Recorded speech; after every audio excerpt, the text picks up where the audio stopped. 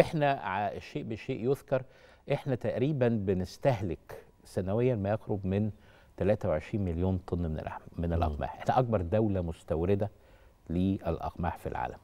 يعني 45% آه، تقريبا إنتاج محلي و55% مستورد من الخارج. بس رغيف الخبز ده شيء مهم جدا طبعاً. جدا جدا للمواطن.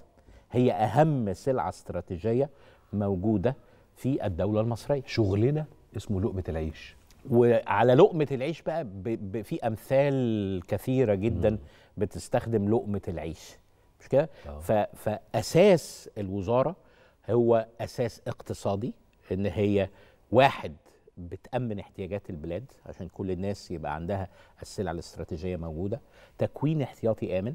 وإتاحة هذه السلع على مستوى الجمهورية. يعني ما عندكش سلع موجودة في القاهرة ومش موجودة مثلا في أسيوط. إنما السلع كلها موجودة على مستوى الجمهورية. هناك أربعين ألف منفذ حكومي يقوم بإتاحة هذه السلع للمواطن سواء المواطن تحت مظلة الدعم أو المواطن خارج مظلة الدعم. أنت عندك ما يقرب من 32 ألف بقال تمويني. ده بيصرف مستحقات التموين للمواطنين تحت مظلة الدعم. صح. عندك ما يقرب من 7000 منفذ لمشروع جمعيتي على مستوى الجمهورية.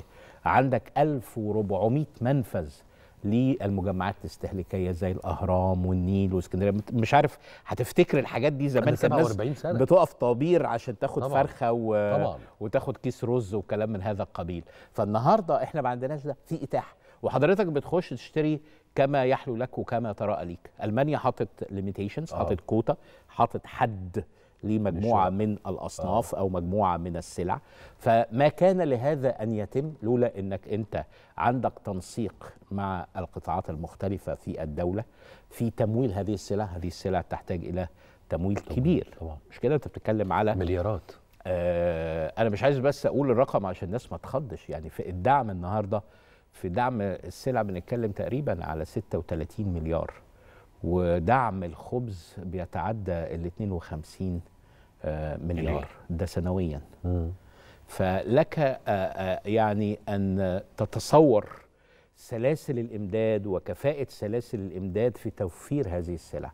سلاسل الإمداد عشان نفهم الناس عشان في ناس ممكن يعني إحنا ما كناش وضحنا لها الصورة بشكل جيد. هتلاقي إن المنتج المنتج للسلعة بيحتاج إن هو يودي السلعة إلى مخازن. طبعا. ومن المخازن إلى متاجر عشان الناس تقدر تتسوق من هذه المتاجر. هذه الحركة بتسمى سلاسل الإمداد. في حاجة اسمها مناطق لوجستية. آه. المناطق اللوجستية ديت بتبقى موجودة ما بين المنتج والمخزن. طب المنطقة دي بيحصل فيها المناطق اللوجستية بيحصل فيها فرز وتعبئة آه زي تجميع. الصوامع وزي المطاحن. زي مثلا هقول لحضرتك لما آه، آه، تروح مصنع سيارات كويس؟ السيارة بتصنع في هذا المصنع. ثم بتروح منطقة لوجستية بيتم بقى تركيب الأكسسوارز بتاعتها صح. الحاجات الايه الإضافات لهذه السيارة. الإضافات في الطعام فرز وتعبئة وتغليف بنسميها منطقة لوجستية. حتى في صناعة الدواء بيبقى عندك مناطق لوجستية. فكل صناعة وكل قطاع بيبقى له المنطقة اللوجستية الخاصة بيه. طيب وانس إن المنتج خرج من المنطقة اللوجستية بيروح بقى منتج نهائي يبقى موجود في المخزن. يبقى أنا عندي مصنع منطقة لوجستية مخزن ثم متجر اللي الناس كلها بتروح تشتري من هذه المتاجر. صحيح. طلع بقى موضة جديدة اسمها التجارة الإلكترونية. آه. مش كده؟ حلو. فطلع بقى مسميات آه، آه، جديدة. بدل ال- ال- المناطق اللوجستية سموها باللغة الإنجليزية fulfillment centers وبدل ال- المتاجر سموها dark stores dark stores